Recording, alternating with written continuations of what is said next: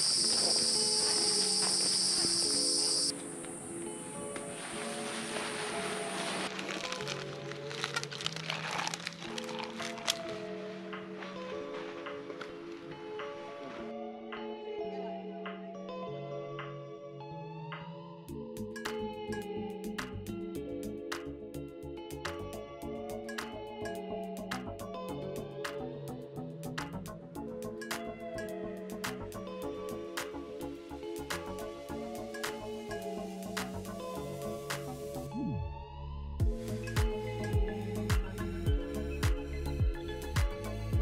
Halo semuanya, kembali lagi di GoFlow TV. Di video kali ini saya akan menyebutkan dan sedikit mereview gearless atau peralatan pendakian yang biasa saya pakai pada saat perjalanan, apa yang saya kenakan, dan gear apa yang saya bawa di dalam tas.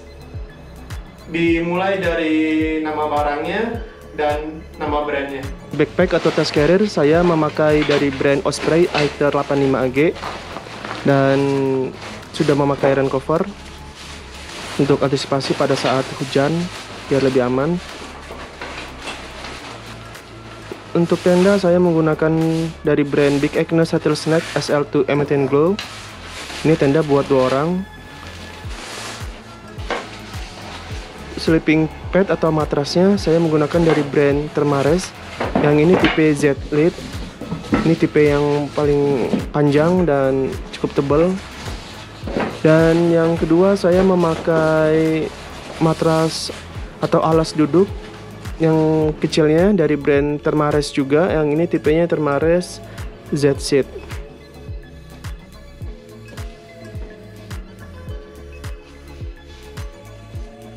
sleeping pad saya membawa dua. Dan yang ini adalah sleeping pad yang ditiup. Ini dari brand Big Agnes Insulated Air Core Ultra. Pillownya saya menggunakan Big Agnes ASL Air Pillow. Ini sama ditiup juga. Dan untuk meniup sleeping pad itu saya menggunakan Big Agnes Palm House Ultra. Sleeping bag saya memakai dari brand Big Agnes tipe Gun Creek 30 ini cukup nyaman banget buat saya karena cukup kompak dan cukup ringan. Dan benar-benar sih memakai sleeping bag ini nyaman banget tidur.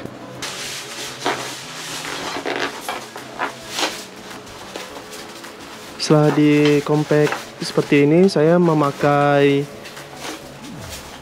saya memakai compression sack dari Big Agnes Super Light Girdle.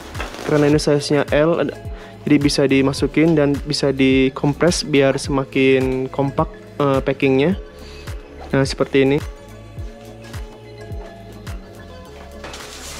Folding table saya memakai dari brand GSA Outdoors yang ini tipe ultra light cable-nya yang size large. Ini benar-benar kompak dan cukup ringan ya. Dan ukurannya yang large ini jadi bisa untuk berdua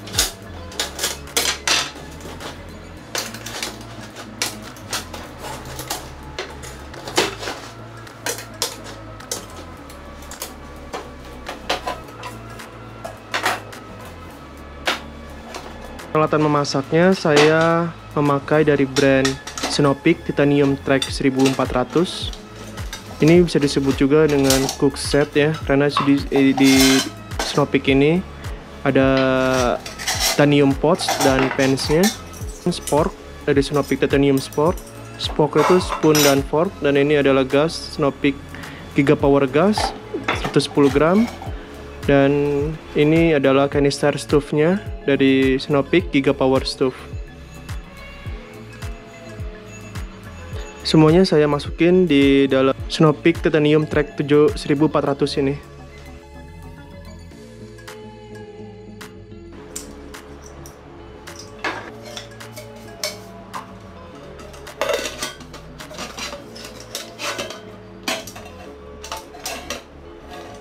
Ini adalah pennya dan ini adalah potnya.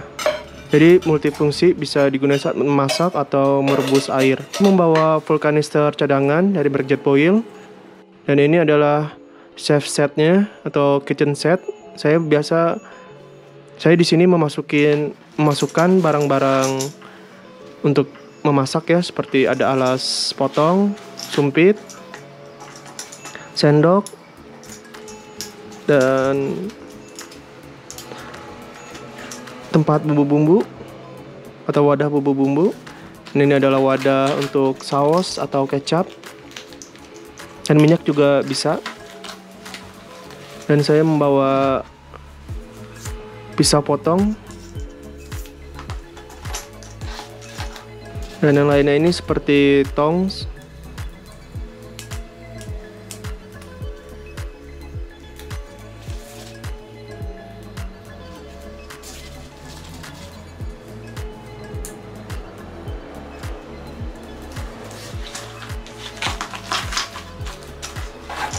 Sawyer Mini ini adalah water filter. Dalam keadaan darurat untuk mencernihkan air untuk diminum. Dan saya membawa korek ini dari brand satu pocket Torch XT saya membawa dua korek ya buat cadangan. Stove atau kompor cadangan ini canister stove dari brand JSI Outdoor Pinnacle Four Season Stove. Ini sangat kompak dan ringan juga dan ini tadi tabung atau kanister gas isobutan yang cadangan. Saya memakai yang 230 gram.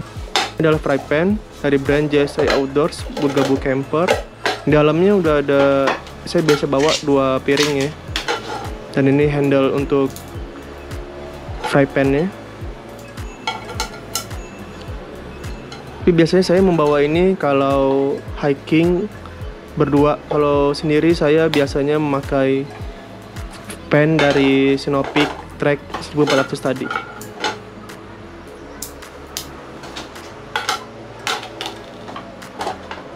Gelas dari brand JC Outdoors Infinity Backpacker Move. Ini sangat kompak juga dan karena terbuat dari bahan plastik dia anti panas ya buat di handle-nya. Karena di sana di handle itu terbuat dari kain botol saya memakai dari brand Nalgen Nero Mouth Bottle ini yang size-nya 1 liter. Water bladder juga. Ini dari brand Osprey Hydraulic Reservoir yang 3 liter. Ini biasa saya masukin di dalam backpack Osprey Aether tadi ya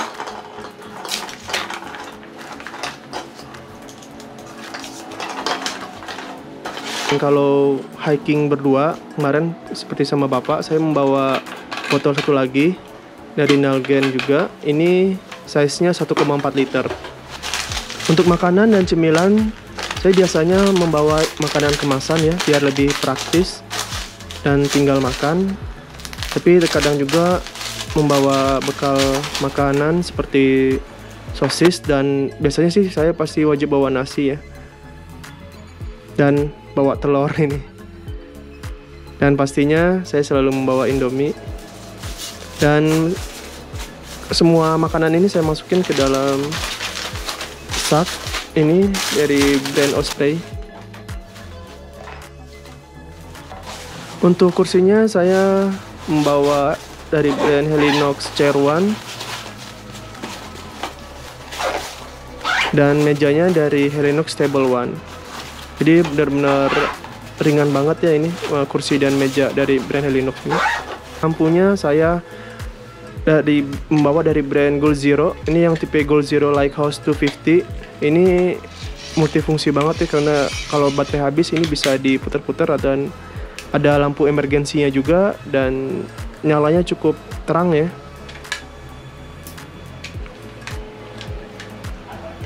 Dan ini adalah Godzilla Lighthouse Mini Lantern ini yang kompaknya lagi yang lebih kecil saya sih biasanya bawa yang ini dan bawa center ini adalah Gold Zero Torch 250 ini sama, jika dalam keadaan darurat baterainya habis bisa diputar begini untuk mengisi daya ulang 100 dan ada solar panel juga.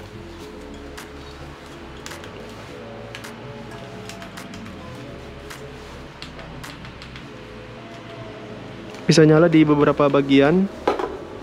Untuk yang kalau penting wajib adalah headlamp. Ini adalah dari brand Petzl Reactive Plus 300 LED. Ini peralatan headlamp wajib saya yang selalu saya bawa ya kalau mana-mana gitu kalau hiking apalagi wajib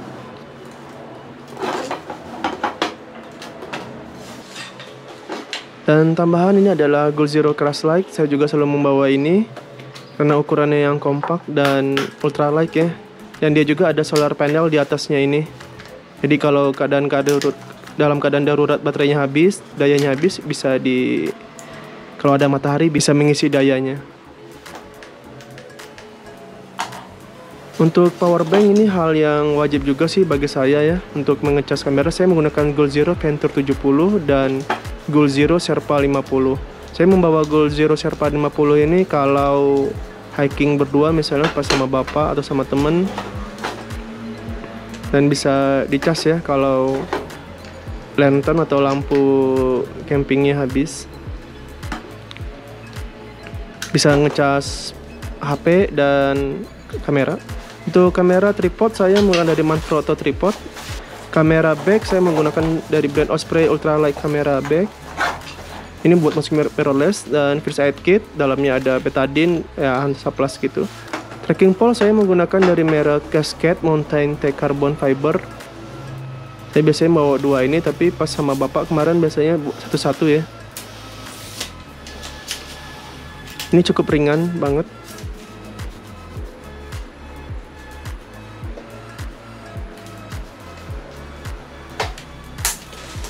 Saya juga membawa trowels untuk menggali dan menutup tanah buat PAB. Untuk base layer yang saya pakai, saya menggunakan dari Monbel short sleeve. Ini benar-benar super dry banget, ringan dan cepat kering. Base layer dengan panjangnya saya biasa gunain kalau udah di base camp ya, atau pas mau tidur. Ini hiking jacket dari Monbel Ultralight, jacket yang saya pakai pas hiking karena ringan banget dan benar-benar bikin adem ya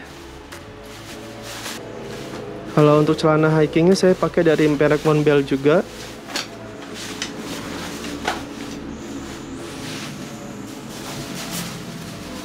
Tadi jaket dan celana ini favorit saya sih dari brand Monbel. Untuk rain jaket saya memakai dari brand Monbel Zero Point Gore-Tex. Ini anti air ya waterproof.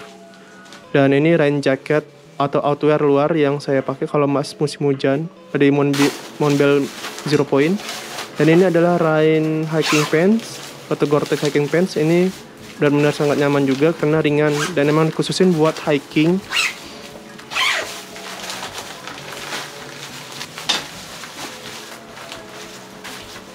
Jadi saya selalu membawa rain jacket dan atau disebutkan jas hujan kali ya. Ada jaketnya celana dan outer lain jaket ini.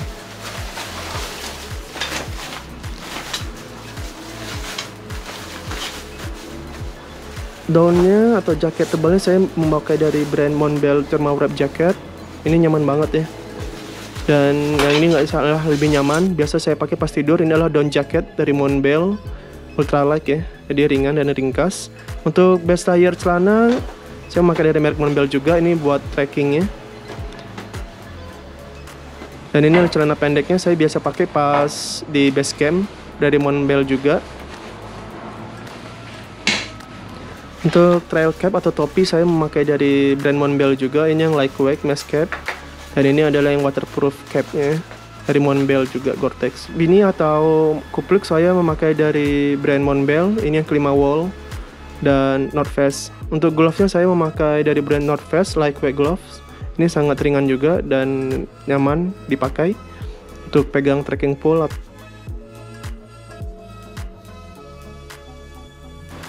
Untuk sepatu hiking bootsnya saya memakai dari brand North Face. Yang ini adalah Ultra XC GTX yang udah soft vibram dan Gore-Tex. Jadi udah waterproof ya. Untuk kaos kakinya saya memakai dari brand North Face juga yang athletic hikingnya. Saya membawa dua untuk sandal saya memakai dari brand Billabong dan ini backpack bapak ya saya tambahin di sini. Jadi ini adalah dari brand Monbel Zero Point tipe Caca Park 45.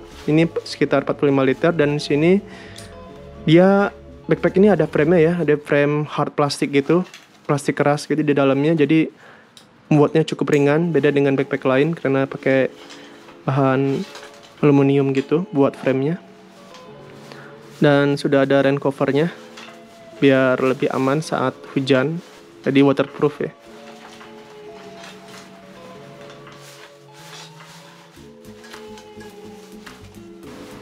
Untuk bas tayar Bapak menggunakan Fast Summit Series.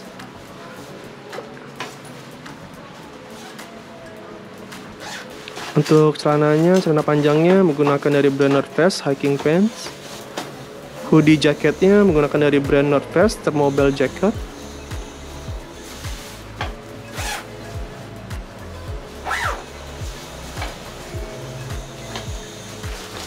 Untuk rain jaketnya menggunakan dari brand Monbel Gore-Tex Jacket. Ini sebagai jas hujan juga ya buat Bapak. Ini adalah celananya dari Gore-Tex Pants juga. Untuk hiking boots Bapak menggunakan dari brand Rocky tipe Stratum. Kesimpulannya ini menurut saya, saya bagi beberapa bagian kelompok ini dari tenda untuk bagian tidurnya sleeping, cooking, bagian beberapa alat masak, makanan, untuk cahaya, lampu, dan pakaian dan sepatu. Menurut saya ini adalah komponen yang wajib dibawa ya pada saat berkegiatan di luar ruangan atau outdoor seperti hiking dan lain sebagainya. Jadi kurang lebih seperti itu girly saya dan terima kasih telah menonton.